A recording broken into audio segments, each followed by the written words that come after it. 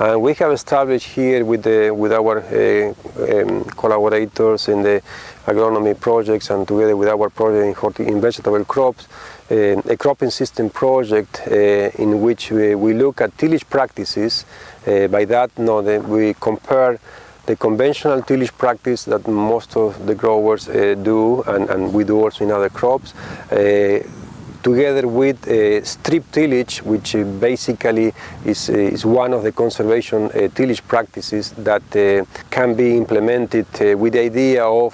improving um, the soil properties, um, um, is water infiltration, uh, soil temperature, um, evaporation, reduce evaporation of the water from the soil into the atmosphere, and hopefully improving the um, biological activity in the in the soil. So the, certainly the objective is trying to see if it can be translated in, into a better crop performance. And by crop performance means productivity and quality, and also enhancing the uh, soil overall soil health. We have uh, in this uh, project that um, I'm going to briefly mention on watermelons that we conducted for the for three years, we superimpose uh, on the tillage, the strip and conventional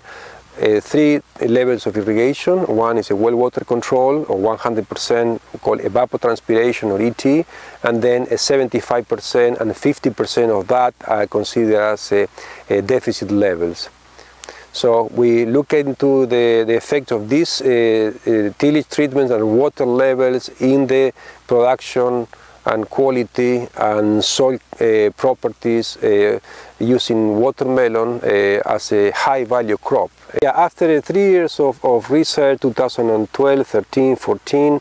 we basically find out that uh, the um, watermelon productivity was enhanced consistently in favor of the strip tillage uh, treatment as compared to the conventional uh,